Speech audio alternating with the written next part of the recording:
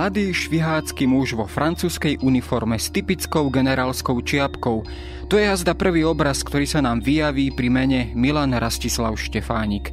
A všetko ďalšie automaticky nasleduje. Letec, astronóm, cestovateľ, diplomát a politik. Skrátka, slovenský národný hrdina. Ako sa však pri takýchto symboloch stáva, zabúdame do veľkej miery i na jeho obyčajnú ľudskú stránku. Mnohé rodinné súvislosti, skúsenosti z mladosti a prežité roky v domácom uhorskom prostredí sú akoby obostreté aurou národného martýra, ktorého tragická smrť vrhá dlhý tieň alebo skôr oslnivý lesk na všetko, čím bol, čo povedal a čo prežil. Všetci asi tušíme, že takýto Štefánik je skôr ikonou než živým človekom a radi by sme spoznali toho pravého, skutočného Milana. A možno rovnako budete so mnou súhlasiť, že nič tak človeka neformuje ako jeho detstvo a dospievanie. Skúsme preto dať šancu mladému chalanovi, ktorý nám spoza obrazu veľkého Štefánika porozpráva trochu iný a azda i obyčajnejší príbeh. A práve takýto príbeh ponúka nová kniha s titulom Mladý Štefánik, ktorá sa zameriava na prvých 18 rokov jeho života. Počúvate Dejiny, pravidelný podcast denníka SME. Moje meno je Jaro Valencom, šéf-redaktorom časopisu Historická reví a rozprávať sa budem s autorom spomínanej knihy Jožefom Demelom. Keďže náš host prichádza z Maďarska, prosíme o zhovievavosť pri porozumení nášho rozhovoru. Veríme, že to podstatné sa z neho dozviete.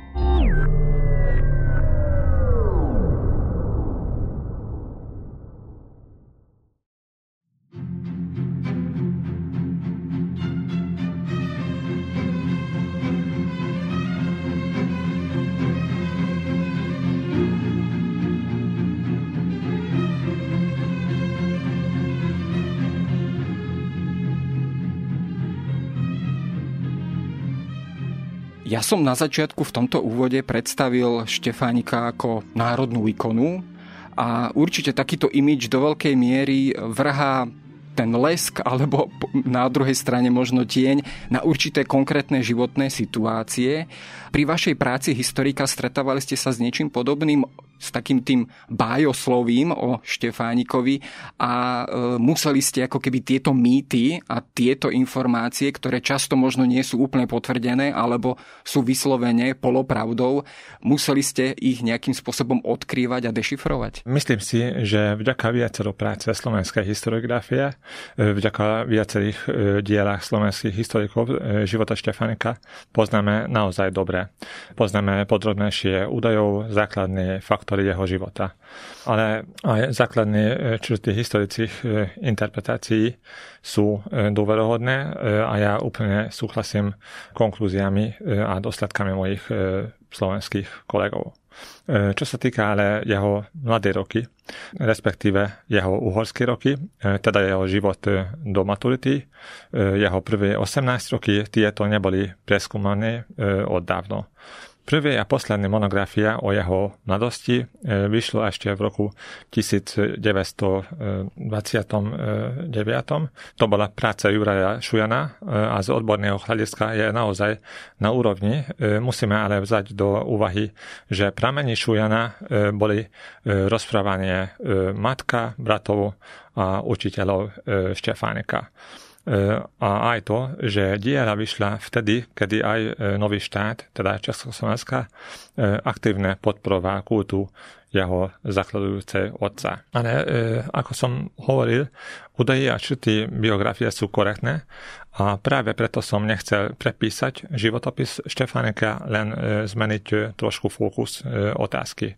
Preto ja som nezaujímal zaujímal mladosť e, zakladateľ e, Československa, ale život slovenského mladíka. E, ako žil ten mladý muž narodený v roku 1900 880 slovenskej internetovanej e, rodine v Uhorsku, aké skúsenosti má súvisiace s každodenným životom e, v Uhorsku, e, aké bolo dualisticky maďarizované Uhorsko z pohľadu slovenského mladíka. To, že sa z toho mladíka neskôr stane človek ovplyvňujúci osud celej strednej Európy, bola už len čerešničkou na torte ja som sa sústredoval len na jeho mladosť. No, na to, aby sme pochopili Štefánika, alebo teda trošku si ho priblížili, tento obraz mladého Štefánika, tak ono asi človek musí najskôr pochopiť trošku aj prostredie, v ktorom vyrastal. A vyrastal e, v Kopaničiarskom kraji, na Mihavských Kopaniciach, ako je to u nás známe, a konkrétne v Košariskách, ktoré boli teda súčasťou alebo časťou Brezovej.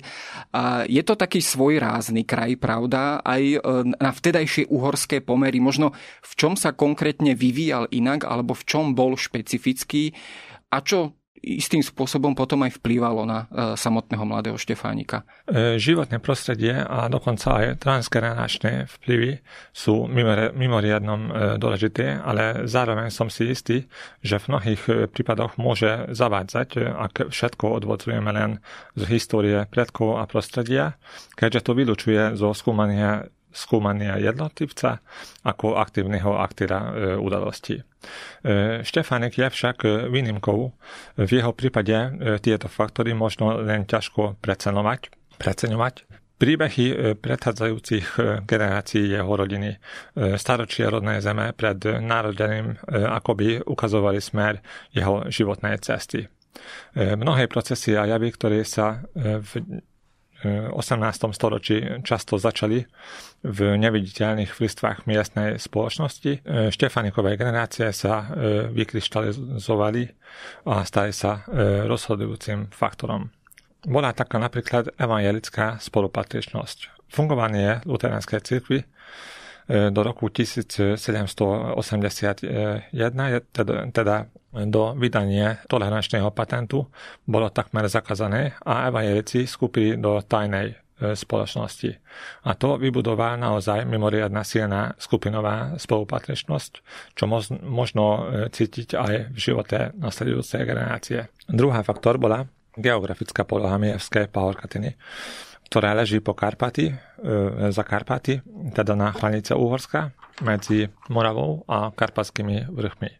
Artur Görgej, generál maďarských honvedov, v roku 1848 hovoril, že by sa vraj e, dobrovoľne vzdal e, tohto územia, ktoré sa takmer nedalo ubrániť pred útokom zvonka. A to bola pravda nie len z geografickej, ale aj zo sociálnej, ekonomickej, kultúrnej jazykové a cirkevné hľadiske, lebo Morava bola bližšie k tejto územia ako iné územia Uhorska. A práve preto mal aj slovenská národná myšlienka veľký úspech na týchto územie. Nie náhodou nazvali maďarské súčasníci ako zem Hurbánie, E, podľa Jozefa Miloslava Hurbana, ktorý tu žil a účinkoval. E, čo sa týka rodinná úroveň, e, jeho stará mama z otcovej strany často rozpráva dejiny jej bratov, bratia Šulekovci, ktorí zomreli ako mučenikmi, ako martyri Slovenskej národnej hnutie počas meru 8 rokov, tak rodinná pamäť a národná pamäť boli spojené v rodine e, Štefánikovcov.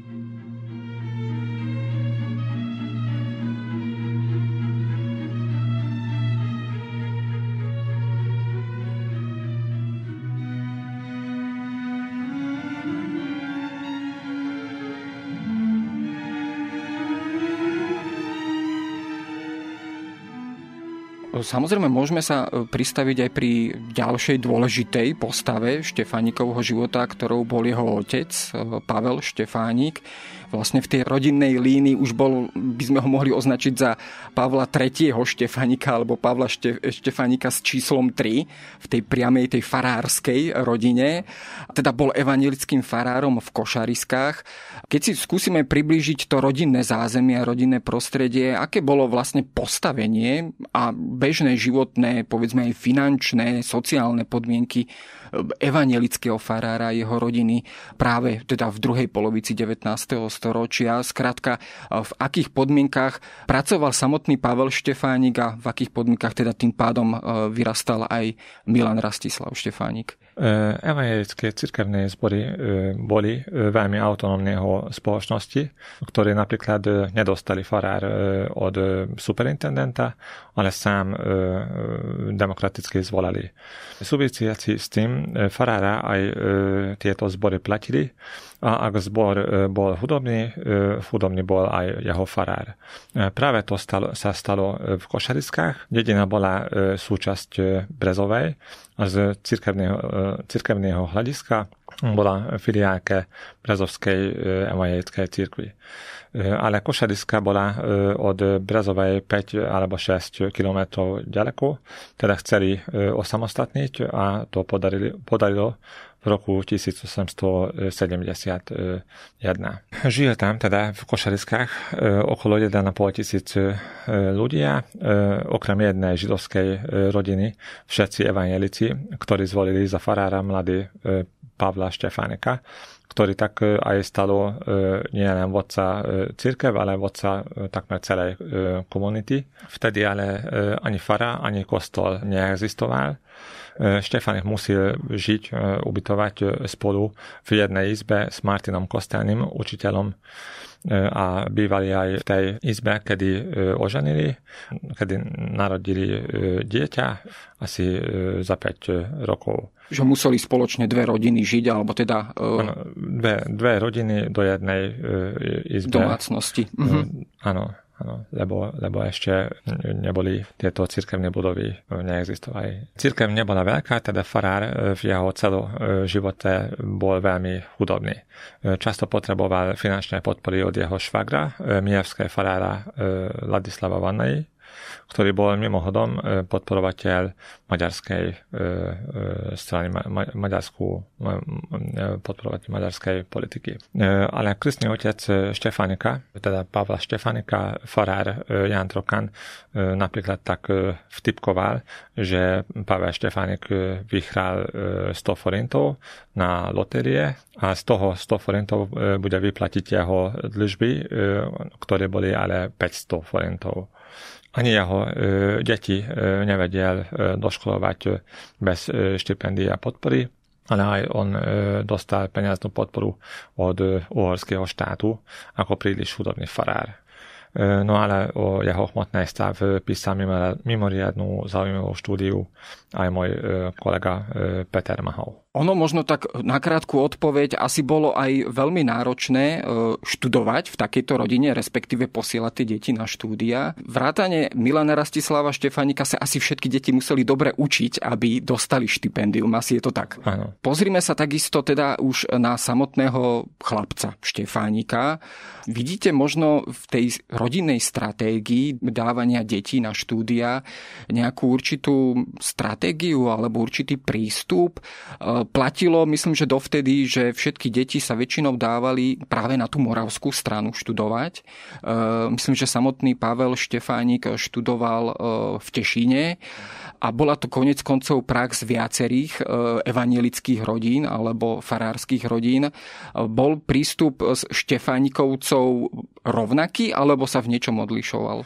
E, najdôležitejšia vzdelávacia inštitúcia e, bola e, predovšetkým Bratislavský alebo Prešporský liceum. Tam študovali prvé generácie Štefanikovcov od vydanie tolerančného patentu, teda ujo jeho starého otca, starý otec a otec ale Štefanikovci študovali naozaj aj v zahraničí, nie len na Morave, v Tešine, ale napríklad jeho otec Pavel Štefánek bol na univerzite v Roštoku, kam poslal sám Jozef Miloslav Hurban. Hurban z viacerých dôvodov podporil mladého Pavla Štefánika, napríklad bol synovcom, učeníkom Šulakovcov, ako sme o tom hovorili.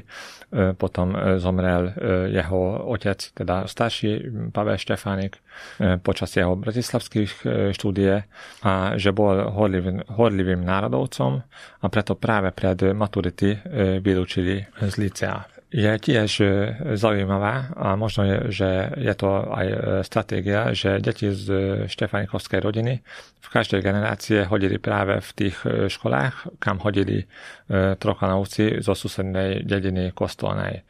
dve farárska rodina pohybovala teda spoločné v, v školskej systéme. Čo sa týka ale e, Šopronskej liceum, tu ide nie o rodinnej, ale e, o regionálnej tradície. E, do Šoprony nehodili skôršej generácie Štefanikovcov, ale často zvolili Šopronské licea rodiny z okolie Brezovej. Ba Šopronskej slovenskej študentskej spoločnosti založili Brezovčania.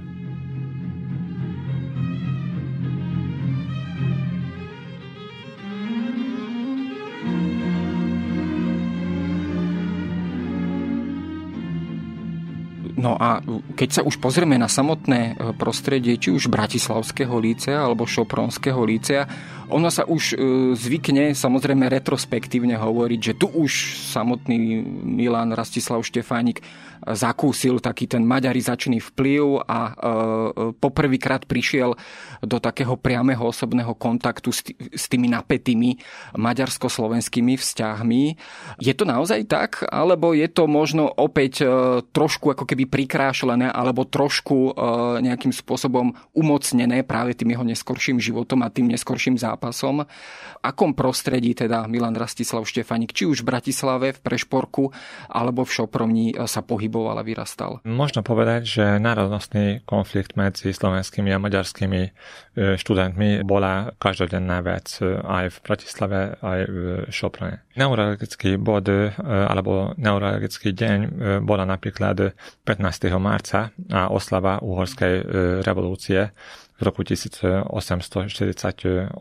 Vtedy slovenskí študenti e, často sa dostali do sporu s maďarskými profesormi a študentmi. E, napríklad E, starší bratia Milana Rastislava Štefanika mali také e, konflikty v Bratislavi a asi práve preto museli e, nehať liceum. Ale práve preto vylúčili aj napríklad Milana Hodžu zo Šoplonskej licei, vtedy, kedy tam študoval aj Štefanik, teda aspoň bol svedok tým pádom. Myslím že musíme uvedomiť aj to, že Štefanik vtedy bol ešte malý chlapec a nemôžeme jeho vtedajší život pozerať len cez optiku národnostnej konflikty.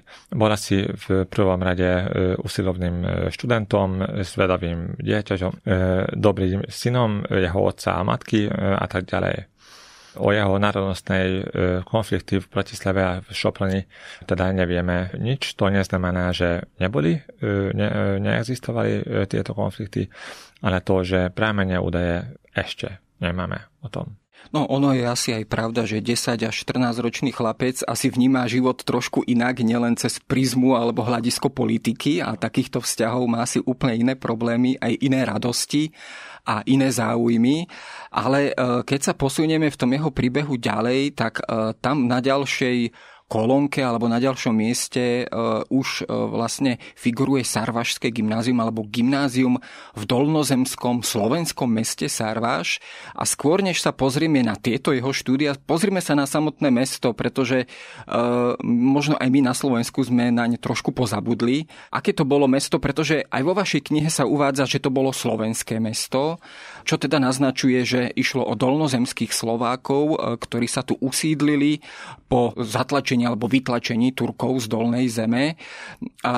Ale ako sa toto mesto vlastne etablovalo do tej pozície, že tam bolo pomerne prestížne gymnázium a že tam teda aj farárske rodiny z, z Horného Úhorska posílali svojich synov na štúdia. Je to naozaj e, zaujímavá história.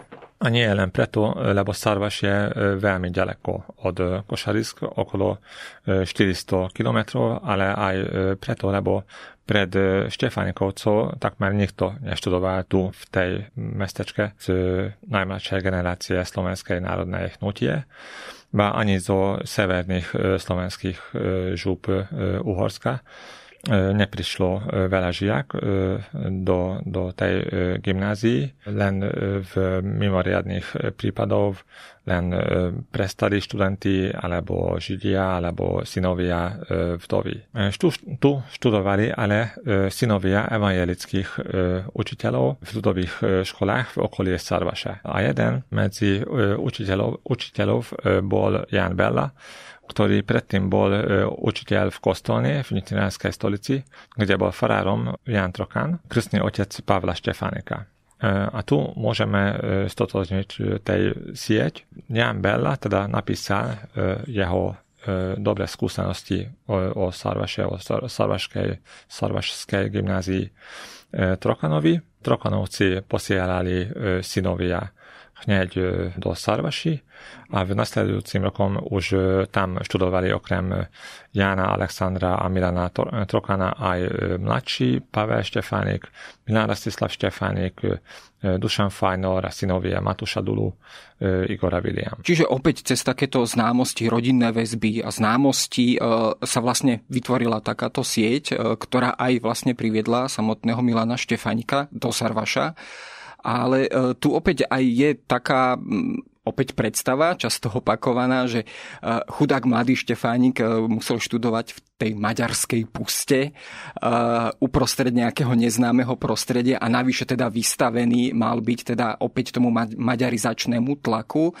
Bolo to naozaj tak, alebo to bolo prostredie, prostredie Sarvašského gymnázia povedzme tolerantné, otvorené, e, kde nemusel možno čeliť e, takým konfliktom a e, takému prostrediu, ako, ako to bolo povedzme v Prešporku alebo v Šoproni. Sarvaské americké gymnázium bol v tom čase, v čase teda maďarizácie, asi ostrov pokoja pre slovenských žiakov. Je pravda, že nevedeli študovať po slovensky. E, ani ako jazyk, e, ani ako e, predmet, ani ako vyučovací mm-hmm. jazyk. Čiže vyučovacím jazykom bola maďarčina. Vyučovacím jazykom bola len maďarčina, ale gymnázium napríklad mal veľká zbierka slovenských kníh v knižnice, teda študenti mohli čítať po slovensky a profesor gymnázia asi vedome zachránili slovenské študenty riaditeľ Ďula Benka napríklad, napríklad hovoril to, že dokedy on je riaditeľom o tzv. páslávoch nechce ani počuť. Teda to, to znamená, že úplne nezaujíma obvinenie z panslavizmu. A to bola pravda. Inkvizícia proti slovenských študentov začali len vtedy, kedy Benka išiel do dôchodku, teda v roku mm-hmm. 1907. Čiže mladý Štefánik mal to šťastie, že v tom čase, keď on študoval na tomto gymnáziu, tak riaditeľoval práve Ďula Benka, ktorý tam udržiaval akési teda tolerantné prostredie. Áno. Pristavme sa potom, a to je ako asi jeden teda z takých dôležitých momentov aj v živote Milana Rastislava Štefánika, ale konec koncov nie len v jeho živote, a to sú tie miléniové oslavy eh, v roku 1800 96, ktoré teda samozrejme pripomínali, ako vieme, e, príchod Maďarov do e, Karpatskej kotliny a vo veľkom boli oslavované, alebo táto udalosť bola oslavovaná v celej krajine. A zvykne sa teda k tomu aj prisudzovať akési vyvrcholenie toho maďarizačného tlaku vo všetkých tých verejných priestoroch, inštitúciách, na školách a tak ďalej. A ako tento sviatok vyzeral v samotnom Sarvaši, s čím bol samotný Milan Rastislav Štefánik konfrontovaný práve tu? Čo sa týka milénových e, oslavách, čo bola teda oslava tisícovej výročie prísť starých Maďarov do Karpatskej kotliny, tu ide asi aspoň čiastočné o demonstrácie dominancia Maďarov v Uhorsku nad inými národnostiami. Pochopiteľné, že predstavitelia národnosti, ako aj študent Štefánik, to neprijali s radosťou. A existuje historka o konflikte Štefánika počas oslavách som maďarskými študentami, kedy ale profesori zabránili Štefánika. A myslím si, že tu je dôležitejšia jeho báseň. Spomenuli ste báseň, ktorú si vlastne mladý Štefánik zapísal do svojho zápisníka alebo denníka a ja sa ju teda pokúsim predniesť a je má samozrejme taký štiplavý, ironický charakter, a tak ju teda prednesiem. A starý tatko Arpád, pozri sa na nás, uvidíš ty na tejto zemi verš pás. Hej, haj, také veci uzrieš ty, aké ešte nevideli Karpáty. Namyslel si ten tvoj nadutý národ, že on má právo druhému kopať hrob. Hej, haj, šablu do ruky teraz, ukážme im, že už prišiel na psa mráz. To je pomerne teda odvážna báseň. Asi sa s ňou nikomu nezveril, asi zostala v tom zápisníku, predpokladám. E, asi áno. E, a naozaj to je ironická báseň a je to parafráza, teda karikaturistická prepísanie maďarskej báseň o starých Maďarov. A Štefanik túto báseň písal práve v ten deň, kedy musil účasť na mileniálnych oslavách v Sarvaši v gymnázie a potom aj v meste a počúvať dlhší rozhovory o starých Maďarov, o Arpádov a tak ďalej. Musím aj napovedať, že, že okrem, okrem toho nemáme údaje alebo pramení o národnostnej konflikte Štefánika počas štyrych sarveských rokoch. Vy tam spomínate v knihe a spomenuli ste aj ju teraz, tú tzv. tú balkónovú scénu, kedy teda mali maďarskí spolužiaci chcieť vyhodiť Štefánika z balkóna alebo z okna. Ono to potom trošku problematizujete v tej knihe, pretože vlastne v celom Sarvaši, okrem myslím, že tej školy nebolo ani poschodových budov, tak sa to možno ani nemuselo celkom takto odohrať a možno, že to ani nebolo vyhadzovanie z okna, ale len nejaký konflikt e, komunikačný alebo ano, jednoducho ano. skrátka nejaká potička. Áno, asi, asi bol len verbálnej hrozbe, alebo ne, nevieme. Skrátka, skrátka si uh, asi vymenil názory uh, s niekoľkými maďarskými študentami, ale pozrime sa aj na Štefanikov osobný život, uh, aký prežíval v Sarvaši. Zdá sa, že na prvý pohľad sa môže zdať, že Štefanik tu bol úplne opustený, že tu nemal nikoho, žiadnych známych. Bolo to tak, alebo tu nadviazal Štefánik nejaké bližšie vzťahy, bližšie kontakty s niektorými rodinami, kde povedzme chodieval na nedelné obedy, alebo s nejakými spoločnými spolužiakmi, ku ktorým mal bližšie? Skrátka, koho mal Štefánik v Sarvaši? Štefánik má e, obrovská pozostalosť v Slovenskom národnom archíve e, asi 85 veľká škrabica a tam je zo pár zaujímavé maďarské listy. E, napríklad od istej vdovy Moravčikovej, jej manžel Jozef Moravčík bol ľudový učiteľ a bol veľký podporovateľ e, maďarizácie. E, manželka ale bola narodená Kičková, teda bola dcera slovenskom e, profesora gymnázium Daniela Kičku. Je ale zaujímavejší jej matka, ktorá bola Alžbeta Vanajová, ktorá bola e, sestra Ladislava Vanaja, ktorý bol švagrom Pavla Štefánka, teda otca Milana. Podľa e, tej maďarskej listy e, vdova Moravčiková a Milan Rastislav Štefánik mal veľmi, veľmi blízky vzťah. Moravčiková napríklad nazývala Štefánika ako môj bývalý syn. Ono, ono to asi aj svedčí o tom, že napriek tomu, že tu vládlo isté slovensko-maďarské napätie, tak to nebolo tak možno prísne rozdelené, ale že tí ľudia sa predsa stretávali dokonca v jedných rodinách alebo v nejakom príbuzenskom širšom rámci a, a, konec koncov aj ten Štefanik sa musel s tým Moravčíkom stretnúť. Čiže možno tie, tie veci boli priamo ako keby v tých rodinách a možno neboli možno tak vnímané tak radikálne alebo tak možno násilne alebo tak veľmi, tak veľmi zle. Áno, áno, nevieme e, o tom, či mal e, konflikt e, s Jozefom Moravčikom. Je to zaujímavé, že práve vtedy, kedy e, Štefanik napísal tú báseň, čo ste prečítali. Práve ten deň Jozef Moravčík hovoril aj veľký prejav práve v tom téme, ale úplne inom... Inom duchu, skrátka.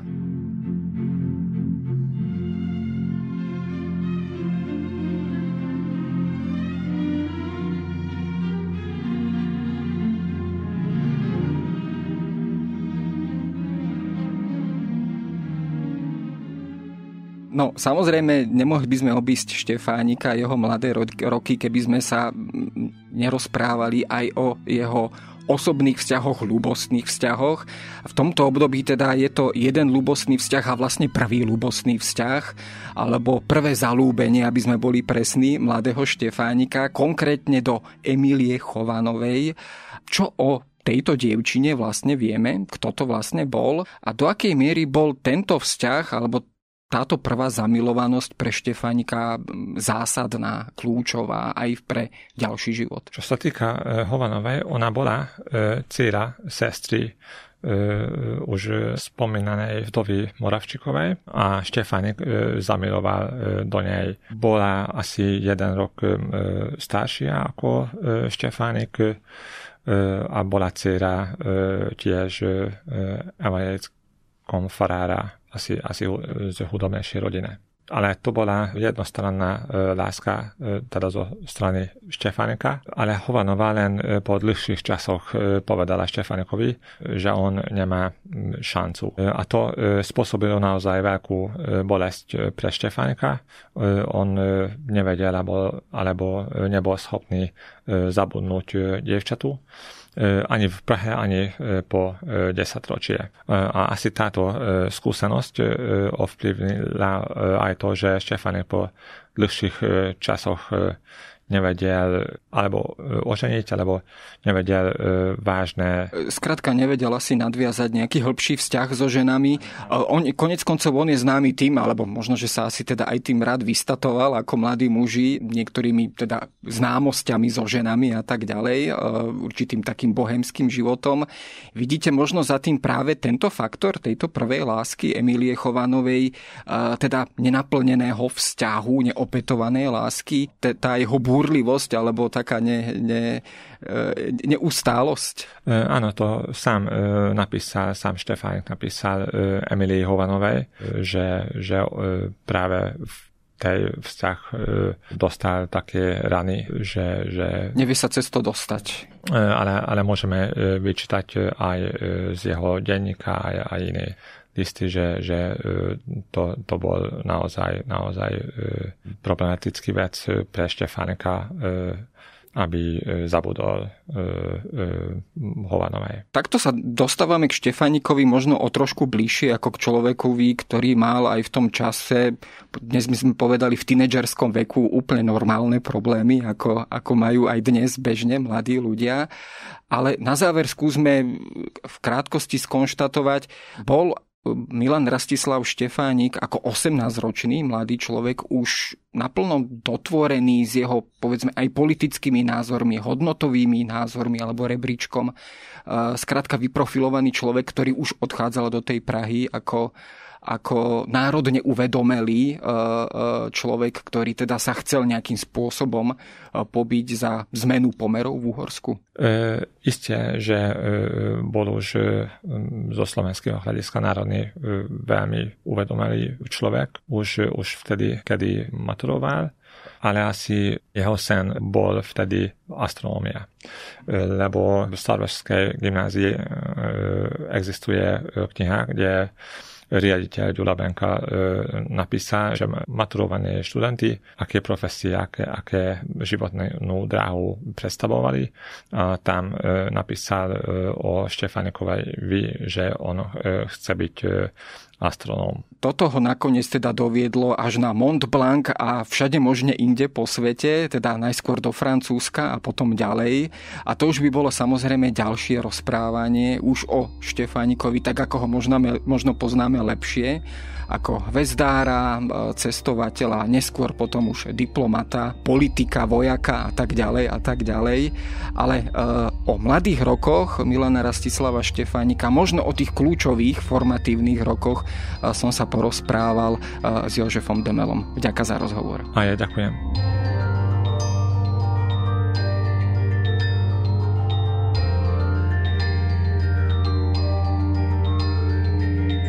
To je na dnes všetko. Počúvali ste Dejiny, týždenný podcast denníka Sme a historickej reví. Podcast Dejiny vychádza každý týždeň v nedelu. Prihláste sa na jeho odoberanie vo svojej podcastovej mobilnej aplikácii na platformách Google Podcasty, Apple Podcasty alebo v službe Spotify.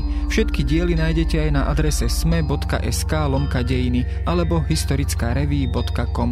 Ak sa vám podcast páči, môžete ho ohodnotiť. Ak mi chcete poslať pripomienku, môžete sa pridať do podcastového klubu denníka Sme na Facebooku alebo mi poslať mail na adresu jaroslav.valent zavináč petitpress.sk Ja som Jaro Valent a na tvorbe tohto podcastu sa podielal aj Viktor Hlavatovič.